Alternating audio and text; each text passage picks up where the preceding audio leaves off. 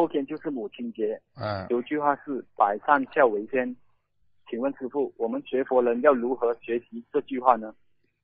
百善孝为先，你做一百个善，你不如要孝顺。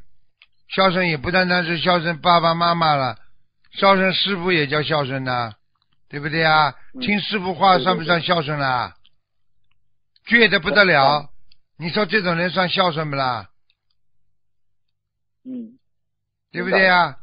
孝顺，孝和顺它是分开的。有些人是孝而不顺，有些人顺而不孝。啊，比方说爸爸妈妈说什么他们都听，这叫孝啊，这叫顺，听得懂吗？嗯但是孝是什么意思呢？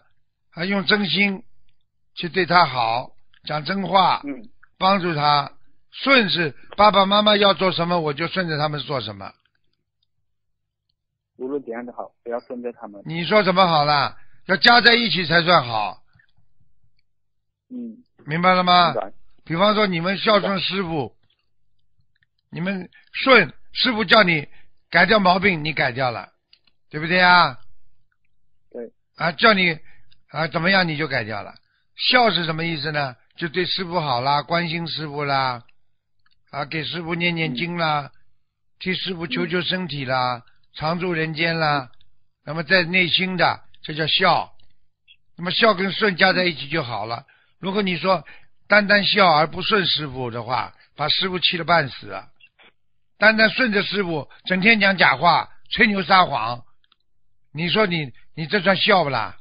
你没有遵照师傅的这个这个教导来做人，来学佛，那你说你就算顺着我有什么用啦？明白了吗？明白。啊，对不起，师傅，我们还修的不好。肯定不好啊！嗯啊。嗯，感恩师傅。